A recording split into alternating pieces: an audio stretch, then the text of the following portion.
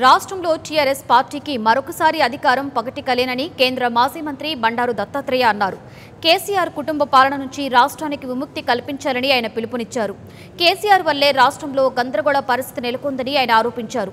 ప్రతిపక్షాలను అణచివేసి టీఆర్ఎస్ ప్రభుత్వం అనైతిక చర్యలకు పాల్పడిందని మండిపడ్డారు. ఈ నెల పదిహేనున పాలమూరులో బీజేపీ జాతీయ అధ్యక్షుడు అమిత్ షా పర్యటన ఉంటుందని దీంతో తమ ఎన్నికల శంఖారావాన్ని పూరిస్తామని చెప్పారు.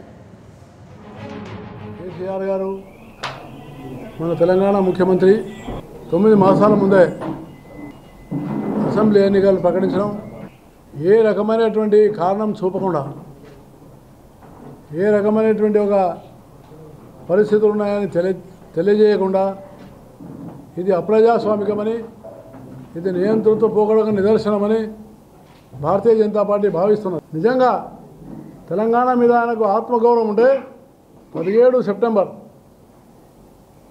పదిహేడు సెప్టెంబర్ తెలంగాణ విమోచన దినోత్సవంగా ప్రకటించాలని నేను డిమాండ్ చేస్తున్నాం.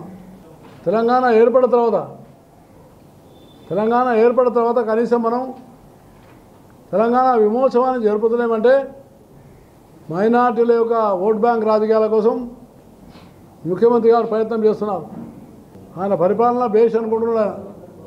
కాబట్టి మళ్ళీ టీఆర్ఎస్ అధికారంలో వస్తుందనేది అది పగటి కళ అది పగటి కళ టీఆర్ఎస్ ఒక పార్టీ కాదు.